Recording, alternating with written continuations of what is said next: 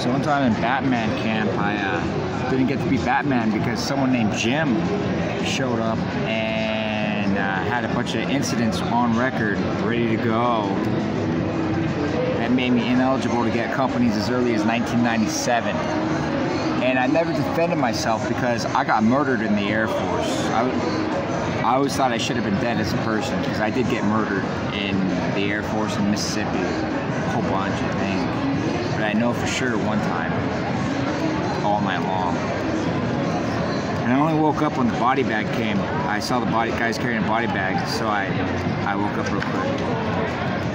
I didn't want to get thrown in a body bag, so I just got up and then I took off. Uh, I, I, stared at myself in the mirror for a couple minutes.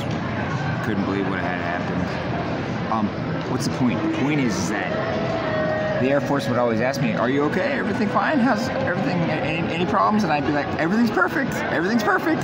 Everything's perfect." And then in 1999, December, uh, when it's time to get out, they're like, "Okay, we want you to reenlist. We're going to give you forty-five thousand dollars just to reenlist." And I said, "Nope. Sorry." And they go, "Why?" And I was like. I still never told anyone about that incident until like maybe five or six years ago. And I was like, oh, I just want to go. I just want to go work in the civilian world.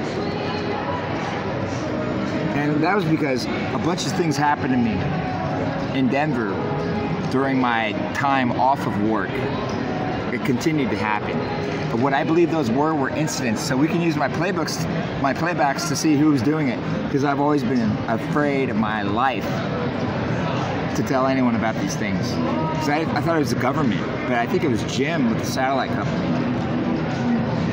For example, uh, he needed me to have a problem pills, right? I would take these trucker pills before work, and I also worked with a guy that's Elvis. That he looks like the guy that's Elvis, you know.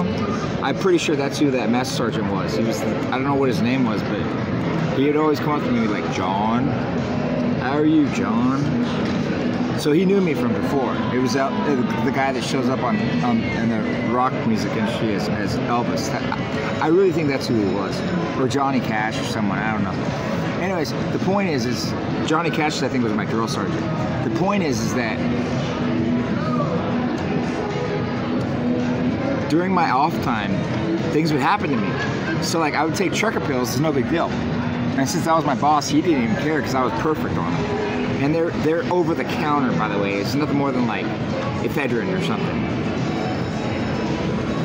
And one of the times I took them on 6th Avenue and the 70 freeway, uh, it was 6th Avenue and 70 freeway. I was intersection, there's 7 Eleven there. I walked in there, I got my trucker pills. I took them, and then I was gonna go. As soon as I took them, I got in my truck, I took a left, I took a right, I went to the red light, pointing uh, west on 6 towards like downtown Denver at the red light. I'm sitting there. All of a sudden, something comatose literally like boom. So I think they shot me with a satellite weapon or something really high powered. And then I, I fell down. And then I woke up on the steering wheel. My car was going into the intersection. I pulled myself up. I drove through it freaked out. I realized I totally knew I got shot. I, this is the stuff I didn't tell the Air Force about. So I lived again. I totally think I probably died a little bit, and then I drove off. I was freaked out. I drove to the mall. I took a left and went about a mile to the left, and there's a mall over there. And I was just trying to get my bearings, and I was driving, and then someone then someone started messing with me, and honking at me. And so I, I fucking went ballistic. I like honk on, fuck you, fuck you, because that had just happened. And then I got worried. I'm like, oh, I have a top secret clearance. I can't do that. And then I drove off. Um, so I think that happened. It happened again driving to uh, leave on leave. I was going home, and I got shot from the front left and back right of my bumper on a snowy, icy road.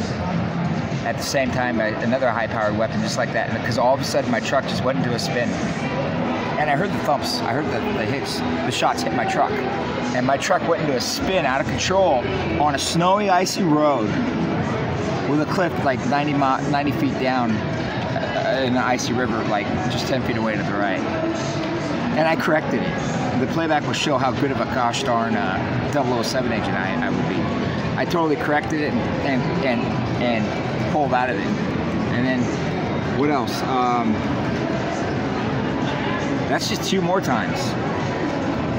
Uh, a lot of shit happened. So because of that, because I knew specifically I was getting shot with satellite weapons, I didn't know what to do, so I didn't re-enlist.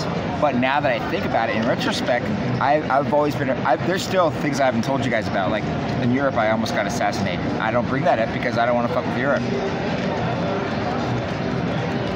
I won't talk about it. I'm not going to get anyone in trouble in Europe right now to need their help. I don't. I'll, I'll, I'll dismiss the whole incident. I don't care. Whatever. So, anyways, um, no, it really happened. Like a rifle and everything in my head. So, anyways, um, where do we go from here? Oh, Jim, I think these guys used that against me. Like I think they said John is a loose cannon. Look, he went to the 7-Eleven, got trucker pills, and then here he is 10 minutes later screaming at the mall. And they bypassed the whole, he got shot in the head and comatose and and was knocked out for about 15 seconds at the intersection before he woke up. So it's it's incidents like that that I I just decided are probably why this has lasted so long. And every single incident he would use against me, I had a top secret clearance. I didn't do anything that would take a top secret clearance away from me. Since 1996. Period. So whatever it is, it's a bullshit lie, or he's only showing you a part of the playback, and the, the true story isn't being shown. Thank you. Bye. John Locke. Have a nice day.